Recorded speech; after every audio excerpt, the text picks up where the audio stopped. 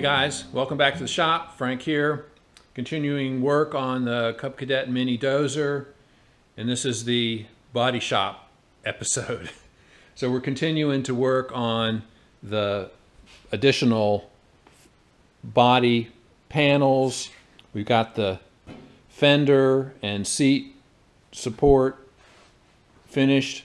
I lowered from the last episode, I've lowered the seat about two inches and I've sat in it and it's a it's a good it's a good height. It was a little bit too high last time. So I think that's a good spot. It, what I'm working on now is the uh, leg panel. So this is a piece of metal which will protect the operator's legs from the tracks. And I just have a piece of cardboard that I've been uh, playing with here. And oh, look who's look who's come in here. There's Brutus and there's Butchie. How you guys doing, huh? Does anybody want a treat? Anybody want a treat?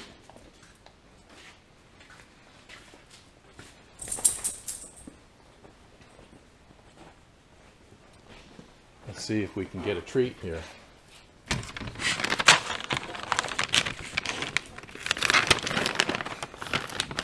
Sit. Both. No. Get down. Get down. Sit. Sit. All right. That's better.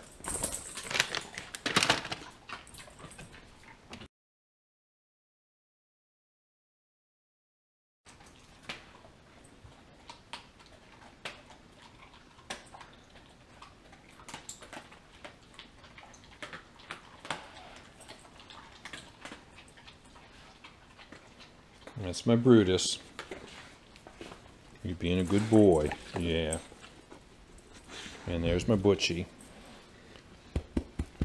Butchie's a big boy. Brutus, Brutus is his little brother. They're actually they're from the same litter, of course. Um, Butchie was pup number one, and Brutus was pup number three. Butchie is a chow hound and has about 10 pounds on Brutus. Okay, so this panel will protect the operator's legs, and I've got it marked. Um, it, it, needs to be a little bit taller back here, and it's about right down here. I want it about an inch above the tracks. So I've got the dimensions on here, 22, 12 down here, 12 tall, 22 tall here, 24 inches wide and then there'll be a 5 by 24 inch flat base or bottom that will go across the the laterals that the operator's foot feet sit on. All right, the only decision I need to make is whether to use eighth inch or 3 sixteenths for that. I've got more 3 sixteenths than I have eighth. I have two pieces of 3 sixteenths. Um, so I just need to decide, you know, what I want to want to do for that. After we get the that panel fabricated, the next thing uh, is a tunnel cover, a cover for the space here between uh, the seat and the dash. So we'll enclose this area, you know, so that'll give us an, a finished look for that. I'll get set up to cut this sheet metal and then I'll bring you back for that and then the fabrication. As I mentioned uh, last episode or the episode before, I'm working on the blade mount for the front of the tractor and I've been working on different ideas for both a four-way and a six-way blade. I think I've settled on a six-way blade.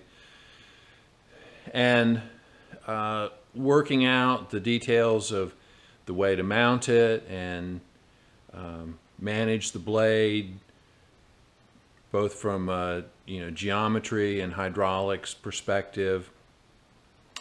I've come up with an idea that I think solves that that problem easily and potentially provides additional benefits. And that is, at this point, I'm thinking about putting a tractor category one three point hitch on the front of the dozer. So what that would give me is two lower support arms, each hydraulically, independently hydraulically driven, which is different from a category one hitch where they're driven simultaneously. I would drive them, lift them hydraulically separately, and then have a hydraulic top link, and then a hydraulic angle cylinder that would allow me to angle the blade. So that would give me four cylinders. I could actually dispense with the, potentially dispense with the hydraulic top link, but at this point, probably we'll, we'll try to do that. And that will allow me actually one additional degree of freedom for the blade, for the mold board, and that would allow me to actually pitch the blade.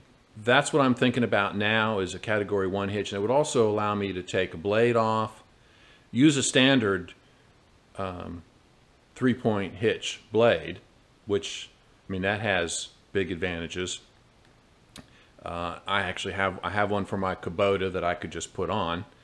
And it would also allow me to attach other three-point hitch implements, a drawbar uh, for, with a ball hitch to move, you know, to tow something or move something around, or you know, a subsoiler or, or any uh, box blade, something like that. So that actually gives me additional um, flexibility on the types of implements that could be attached. So that's where I am right now. Before I get to that, and that will be, you know, an episode or two from now before we I start working on that in earnest. Uh, but that's where my mind is, and I'd be interested in any comments you might have about that approach, whether you think that's a good idea or bad idea. Or, uh, it does. So one of the drawbacks to that idea is it's not it's not scale. I mean, it doesn't. It differs from, you know, my idea of having a miniature uh, kind of a scale bulldozer because that's that departs from what a typical bulldozer has on the front.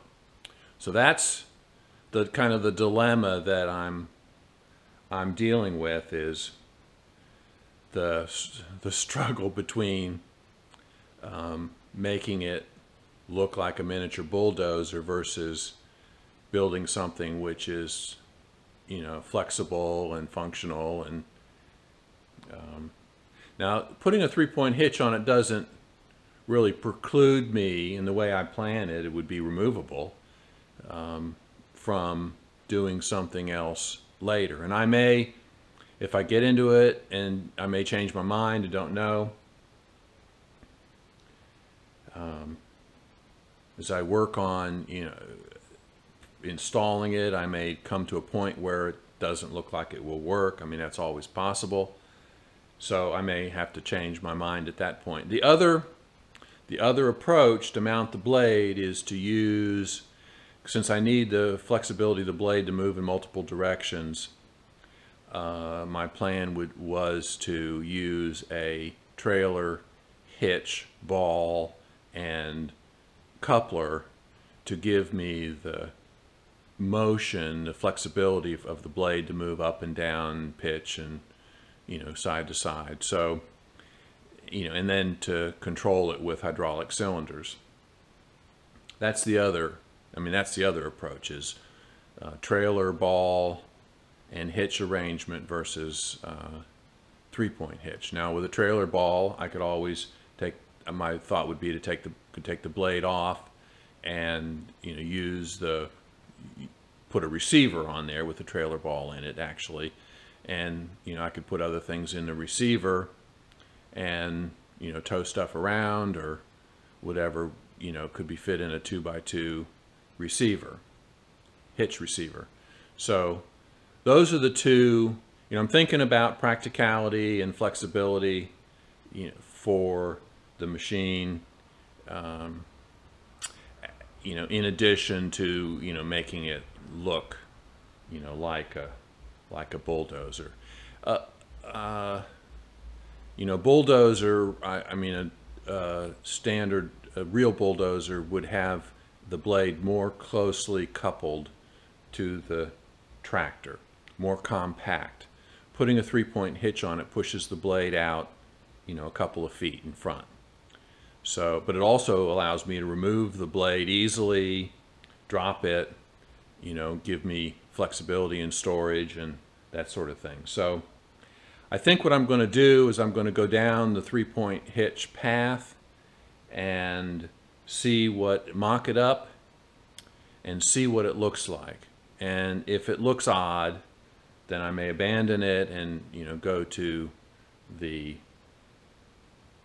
hitch ball coupler um, arrangement, which would allow me to more closely couple the blade to the tractor. That is, get the blade closer to the front of the tractor, as you might see in a, in a, you know, real bulldozer. So um, that's where my mind is right now. Be interested in your thoughts.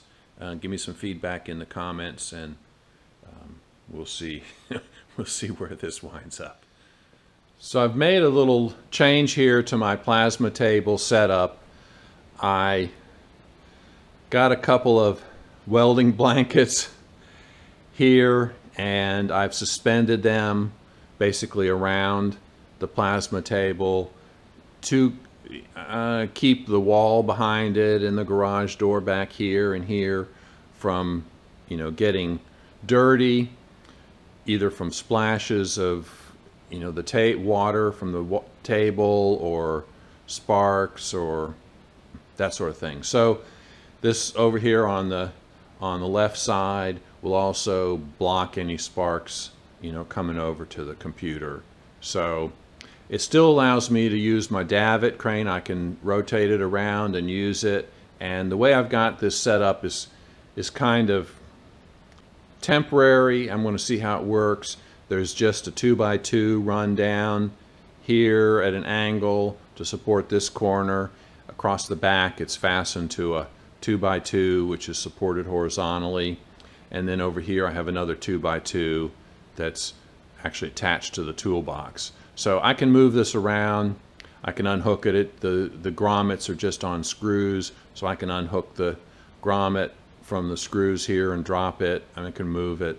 So it's it is in a uh, easily changeable configuration, but hopefully it'll control some of the some of the sparks and and spatter that comes off the the plasma cutter.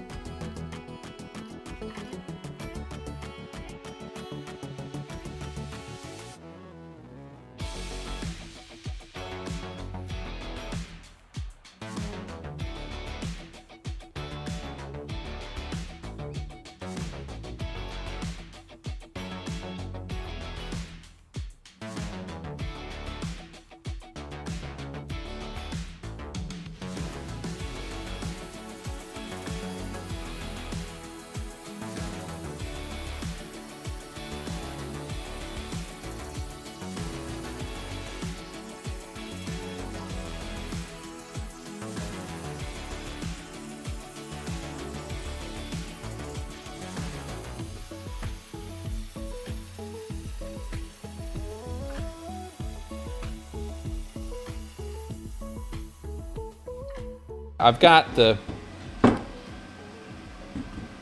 the foot supports will be the bot at the bottom of the leg panel. So this one I have some cleanup to do on. I have to cut this little corner off. I can do that. But it's certainly still usable. I can save this. And the other two leg panels came out came out fine. So we'll get these moved over to the bench and to the work table and tack them up and see what they look like on the on the tractor.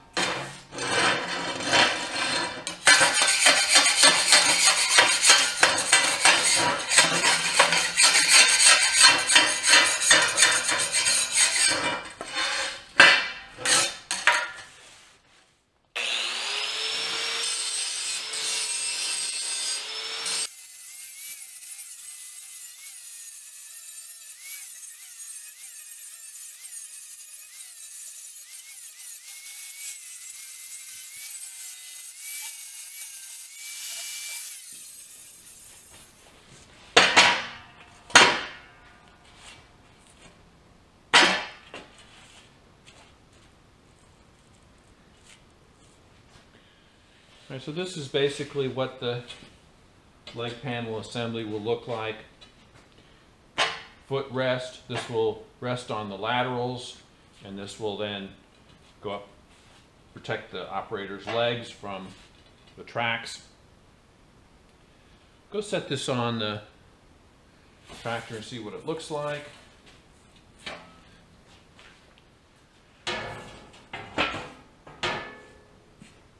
Right, so that's basically the arrangement. It'll overlap the fender here by an inch and then run parallel to the track about a half inch away. Put the foot pad down.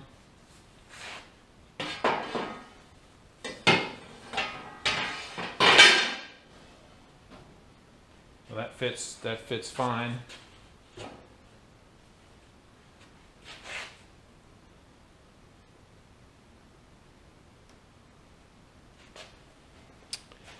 All right, so that's basically the arrangement for for that. We'll put a couple of screws or through the foot pad into the laterals to hold it in position.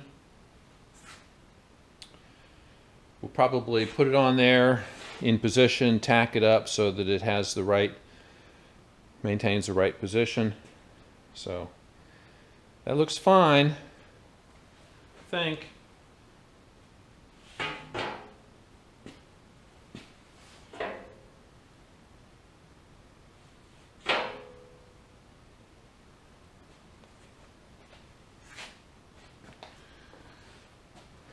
All right, we'll come back and tack that up and put the other one on, tack it up.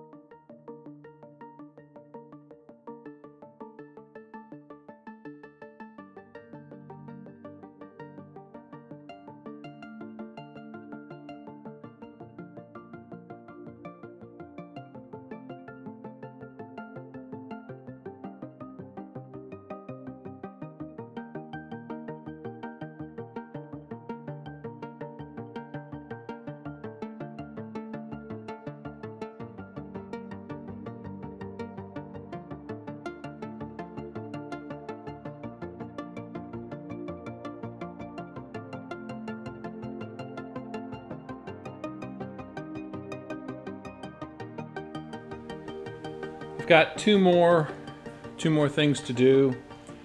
Maybe it's one more thing to do. Two, two tasks. One is to drill a hole for a bolt to go through here to hold the top end of the leg shield. And then a couple of bolts in the bottom of the footwell to hold them to the laterals. So I'm going to mark those, I'll drill the holes through the leg panel pieces and then I'll put it back in and drill and probably just drill and tap for the laterals here. I think I'm going to put a through bolt with a nut um, since it may be exposed on both sides to hold that. And it's just going to be, they're just going to be quarter 20, um, quarter 20 bolts. I might have some panhead or flathead bolts for the footwell. I have to look and see. Okay, let me um, mark these and then we'll drill, I'll drill some holes. I decided to use 5 16 fasteners. I have, because I have some of these nice stainless round head socket cap screws and I'm going to use these for the bottom of the footwell for the two two fasteners there and then I've got a regular 5 16 um, hex head cap screw for the upper connection point right here. All right, so we'll put those on.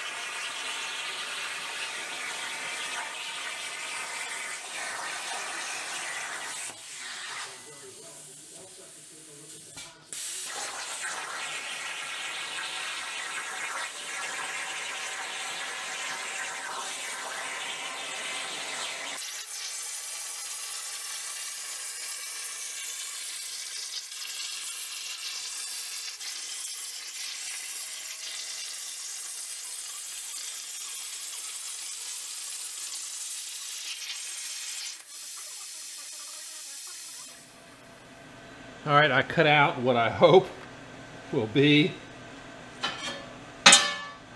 tunnel cover. Let's go check it out, see if it fits.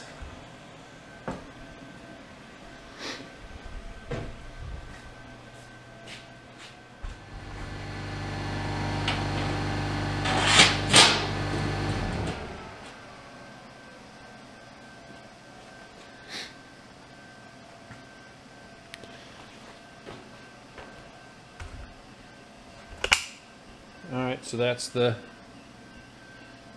tunnel cover. Looks like easy movement of the controls.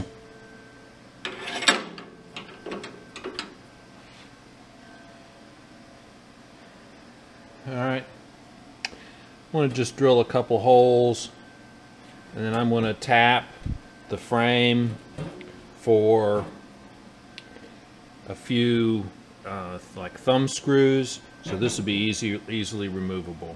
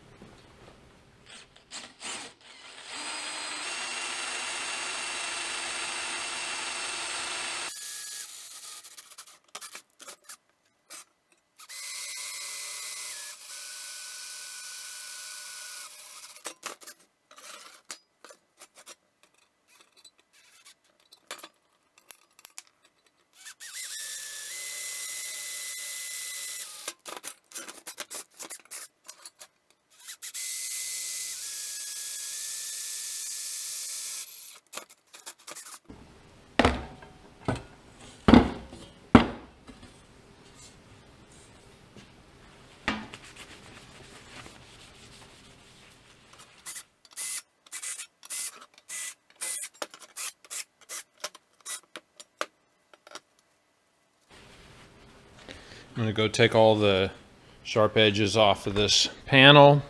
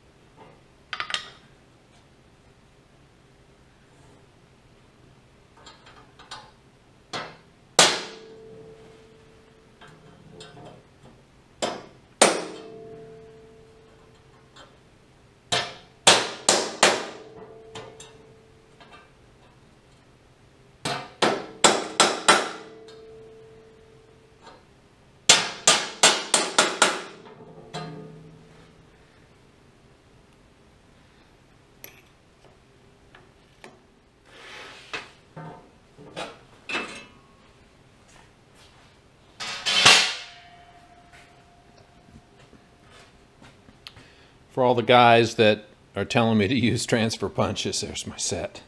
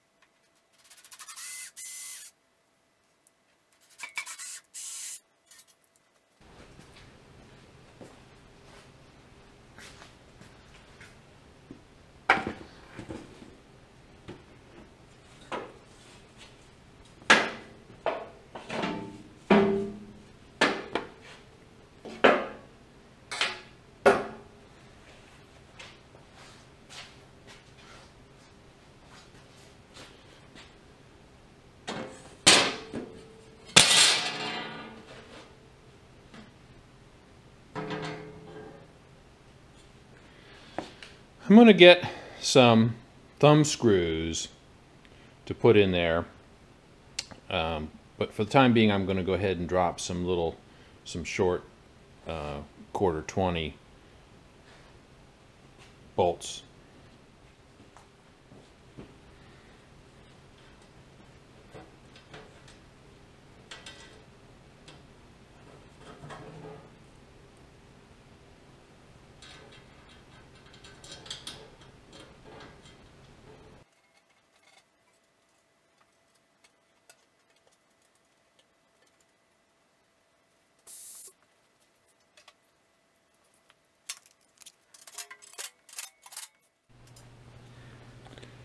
Think that completes the body work that I planned for this particular episode.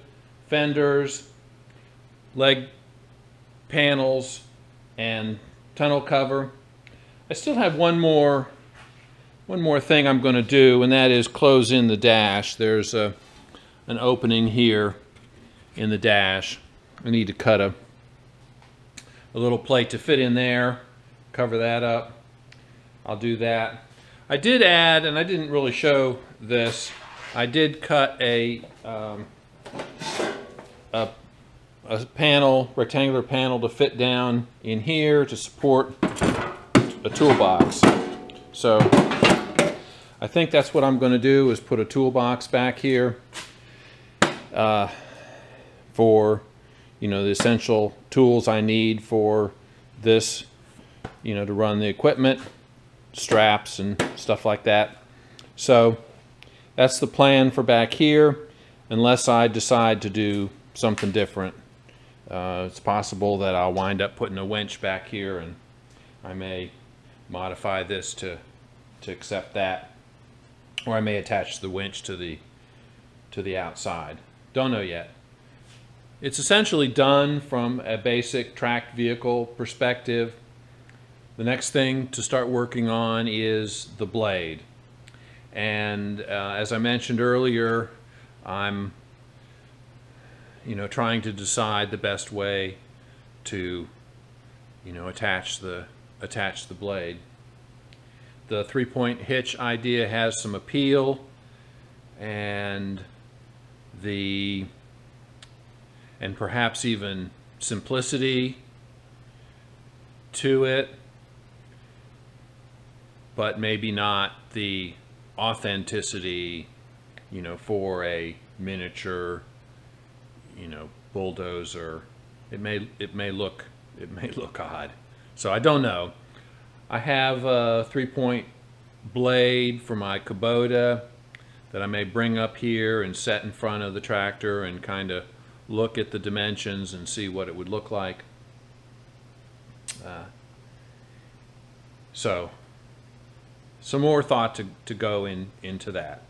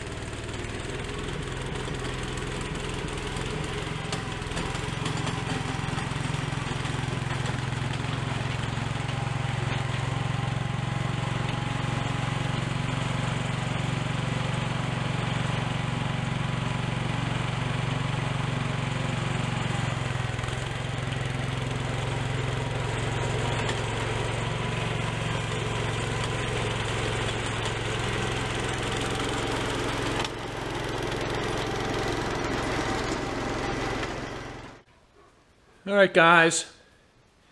That's all the time we have this week. my puppies again coming back in here. This is my Brutus. He's such a sweet. And then, of course, Butchie wants to get in the act. It's been raining outside. It just started raining. And these guys are a little bit wet. What a good puppy. You're my good boy. Yeah, my good boy. My good boy. And you're my good boy too. it just started raining out. The guys are all wet. Uh, okay, so that's that's it for this week. We got a lot accomplished. Uh, the leg wells, leg protector panels, and foot wells, and uh, the tunnel cover, and adjusted the seat. So, and I've also got the arrangement here for a toolbox on the back, which I think is a, a neat idea. I like that. As you can see, the, the tractor's running pretty well.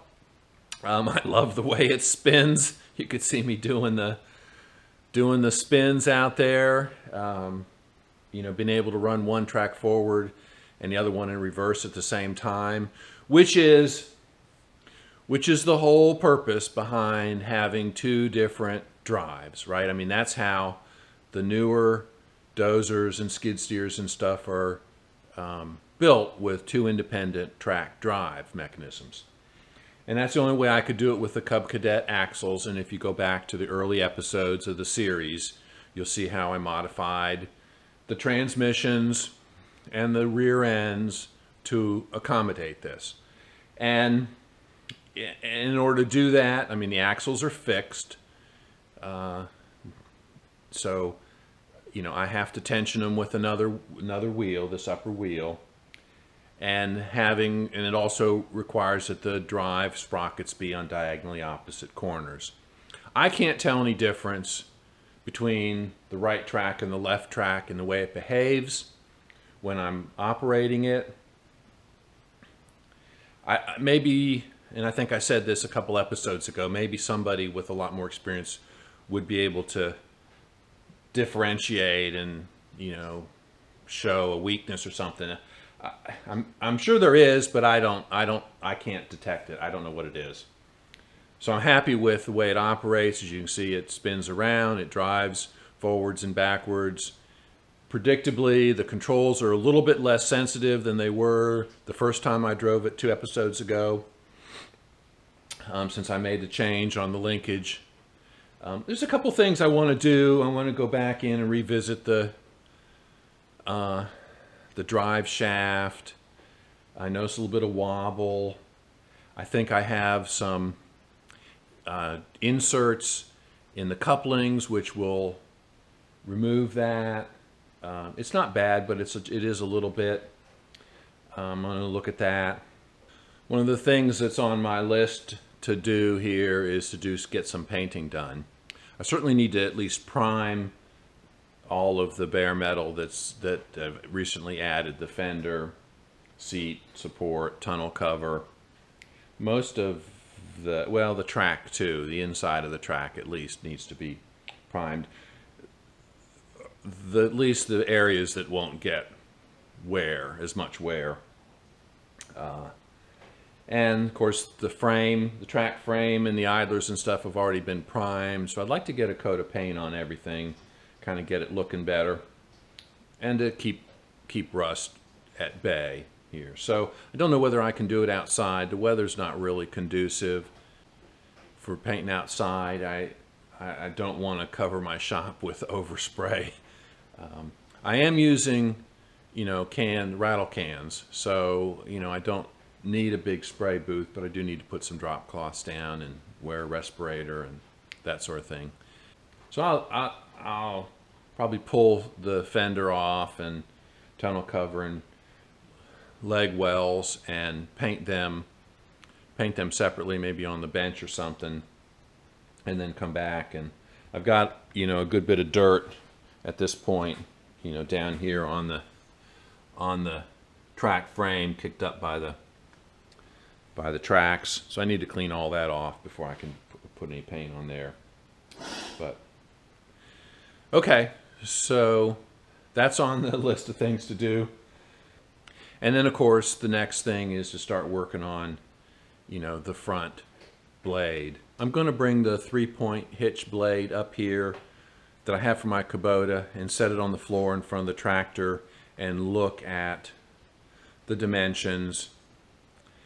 Uh, I'm going to have to build a frame in front of the grill and and it probably be spaced away a little bit but I do need a frame to hold the top of the hydraulic cylinders so that's what's going to go on here is a support frame for the hydraulic cylinders that'll lift the lift the blade, operate the blade.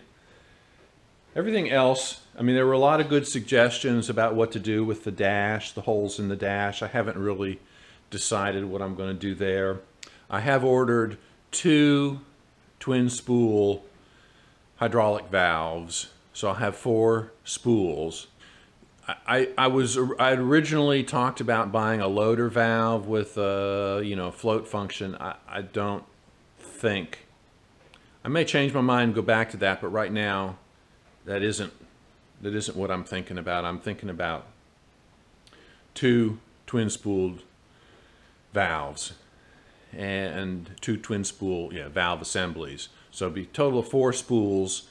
So I have four controls the, the idea is one for each side of the blade for picking up. So I could pick both of them up at the same time or one side versus the other. And then the top link cylinder, which will allow me to pitch the blade. And then an angle cylinder, allow me to angle the blade. Um, so that's the four cylinders I'm planning on right now. I'll probably mount them to either through the dash or off to the side of the dash. I, I, uh, right now I'm thinking probably off to the side of the dash. So that's where my mind is right now. I'm happy with the way it operates at this point. All right, so that's a wrap on this episode. We'll come back next week looking at the front blade and how we're going to mount that. That'll be some discussion and I don't know how much build will get done, but we'll at least get some, maybe some mock-ups. I may have to get some 2x4s and screw them together to see how, see how it's going to work. Anyway, thanks for watching. Uh, subscribe if you haven't already. We'll see you guys next time.